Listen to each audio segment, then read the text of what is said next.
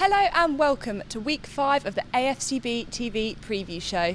Once again, I'm joined by our matchday commentator Kris Temple, and we've got a lot to get through today. Coming up, we look back at the Cherries' last Premier League outing at Stamford Bridge. We'll also be discussing the return of wideman Junior Stanislas.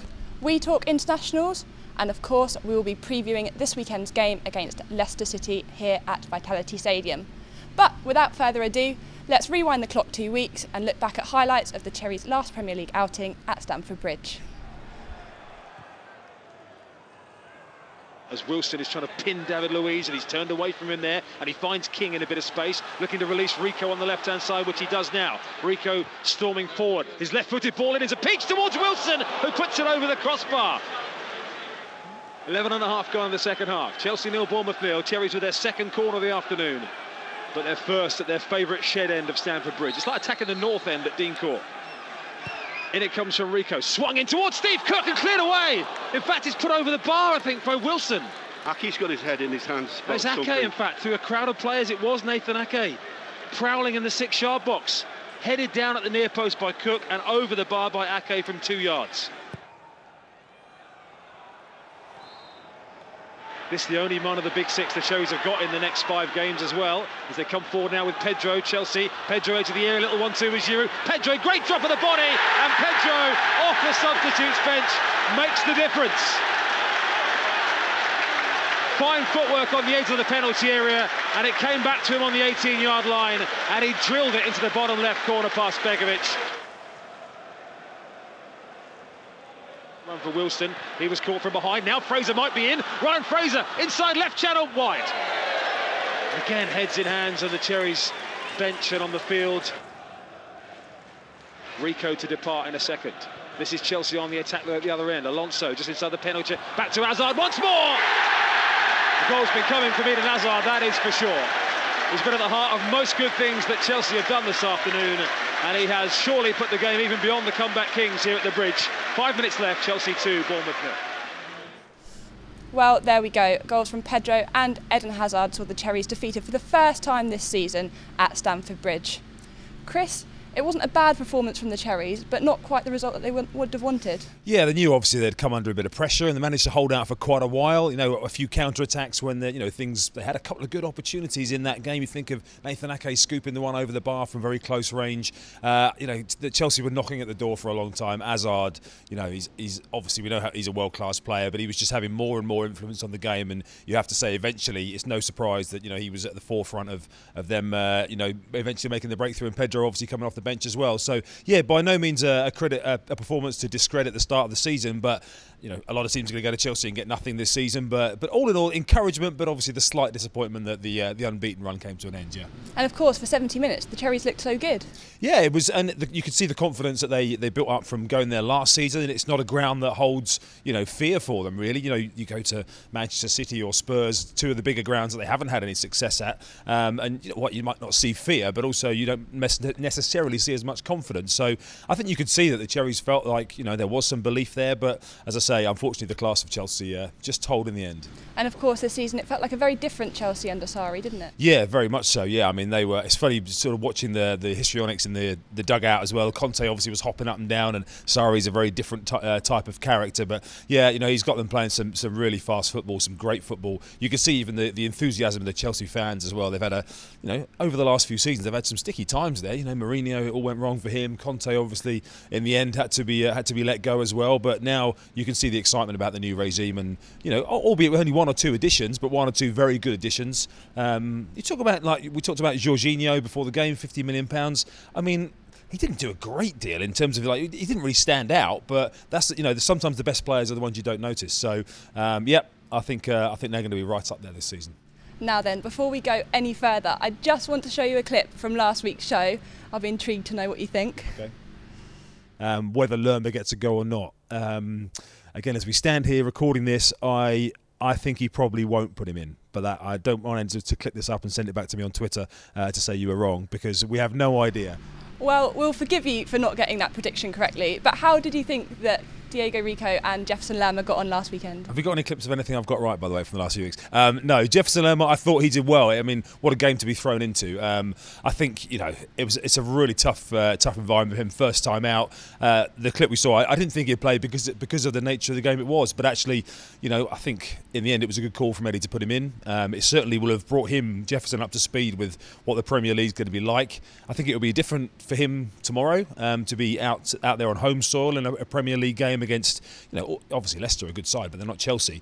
Um, so again, that's probably I think tomorrow is probably a fairer yardstick. But I think what we did see is that you know his, his passing, uh, he, his energy was terrific, even though it was his first Premier League game as well, um, and he seemed to settle in among those around him pretty well. So yeah, a bit like the League Cup game, when everyone was very impressed, I think it was a, it was a good start from him. Yeah.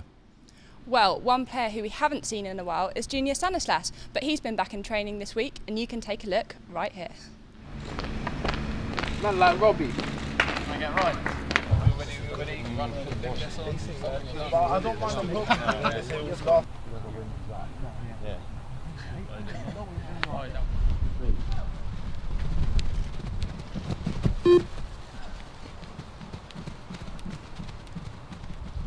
Come on, June. Come on, June. Come on, June. Come on, June. Come on, June. Get there. Keep going, June. Nice, June. Finish. Come finish. Back, June. Let's go. That's better, Tim. Oh, brilliant, June. Yes, sir. Good. Take Good. Take a touch. Yes, June. Yes, June. Yes, shot, June. Well played. Well played. Oh. Just wait there, Jim.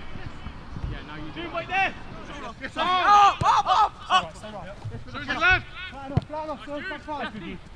Easy. Wide, wide. Outside, go. Control. There you go, left.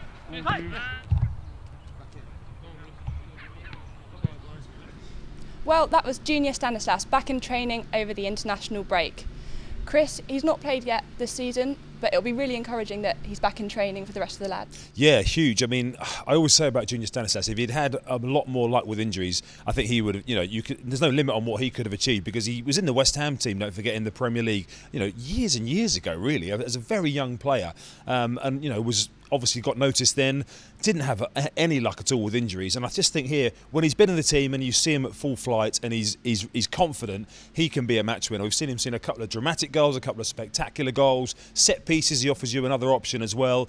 Although he's going to have to do well to get ahead of Rico in the queue for set pieces at the moment. But it'll be a huge boost for him, particularly you know the wide players sometimes people like Ryan Fraser and you know David Brooks will remain to be seen, but they do go through little dips. Um, wide players, they have you know they're particularly the way Bournemouth play, the energy they play with. Um, physically, it's a tough ask for wingers, particularly. So I think it's going to be vital for Eddie to have a couple of options out wide. Um, Junior, obviously, you know, usually often plays on the left hand side, which is Ryan Fraser has made that spot his own. So it'll be an interesting little sort of balancing act as to where they can get him in the team. Um, but uh, it's huge to have another option back because actually the squad isn't that big at the moment in terms of options. So if anybody went down with a problem, uh, particularly an attacking player, there isn't a huge amount of depth um, beyond those that are on the bench at the moment. So yeah, and for Junior as well, I know you know he talking to him, he's always tells us how much stronger he is mentally now. Um, obviously physically as well, but if, if, you keep getting knocks, people will say, well, you can't be much stronger physically because you're still picking up injuries. But some people just don't have a lot of luck, whether it is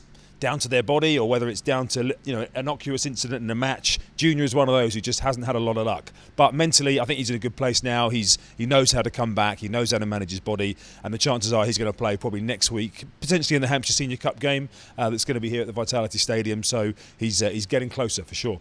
And you mentioned that left hand side. Ryan Fraser has been playing so well there, and of course, we've seen David Brooks as well. It's going to be hard for him to get back into the side, isn't it? Yeah, and again, knowing what Eddie's like, he's faithful to those who've done well. Um, Ryan Fraser's obviously got a bit of a hamstring issue, which he came back from Scotland. He didn't play in Scotland's second international, so that would be a little bit of a, a concern for Eddie because, again, he's uh, I mean I would say he's probably been the standout player so far this season really. So uh, in terms of uh, injury worries you wouldn't want him uh, and hamstrings you know again taking no chances with those. It's six weeks if it pings. So from that point of view um, having Junior back amongst it just as a bit of cover if, if, Fraser is struggling. We don't know if Fraser will be fit for the Leicester game. Um, Eddie was the cards were very very close to the chest on that one today.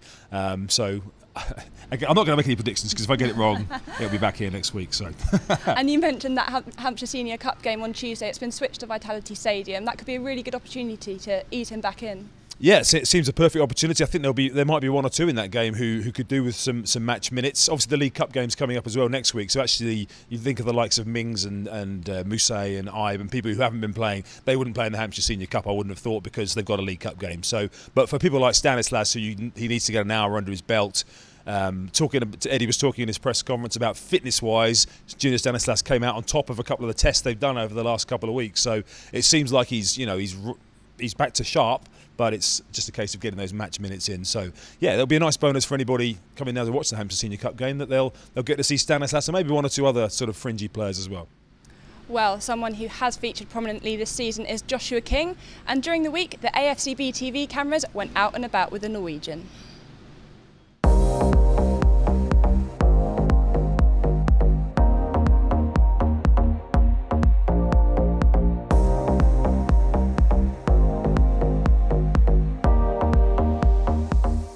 Quite a strong player on the pitch. Is that just a natural thing, or do you work hard in the gym, or like what? What? Why is that?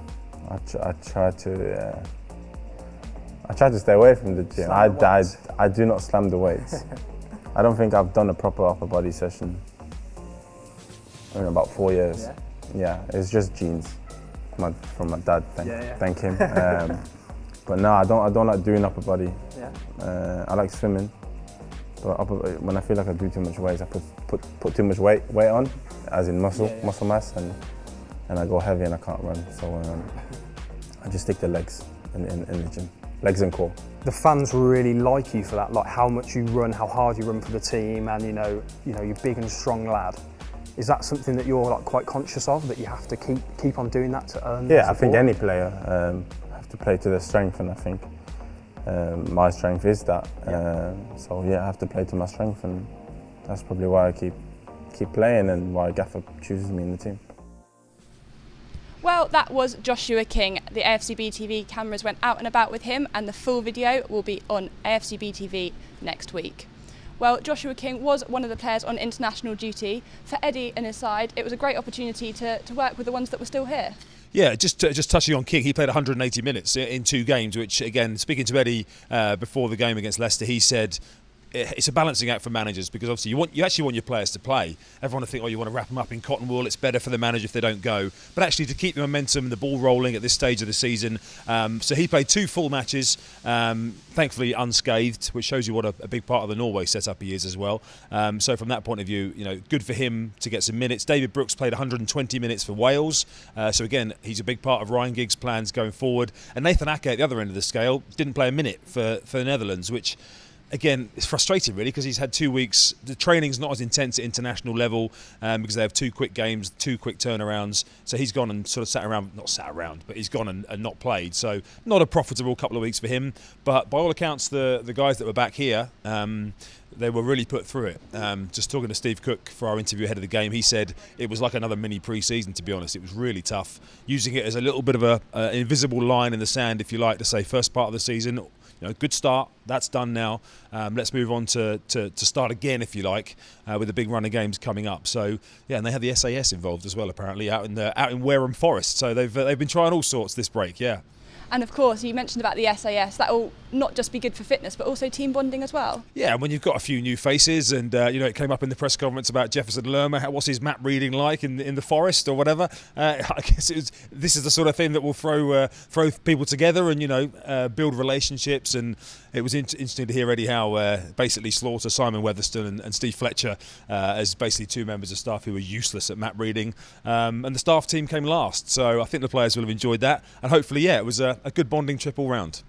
And of course, one player that did star for England in the summer was Leicester's Harry Maguire, and he'll be here this weekend at Vitality Stadium. It's going to be be tough to nullify their threats, won't it? Yeah, I mean Harry Maguire is one of those players who had a, a pretty quick rise, isn't he? From uh, you know he was in the, the Hull under 23 team what three or four seasons ago, and uh, has all, all, of a sudden been scouted. You know Manchester United were linked with him. Um, Leicester wouldn't let him go over the summer, so yeah, he's had a, a big rise. And credit to him, he's got his head down with Leicester. You know, a few players could have been accused of sulking if there was a chance to go to Man United, and actually you Leicester say you can't go.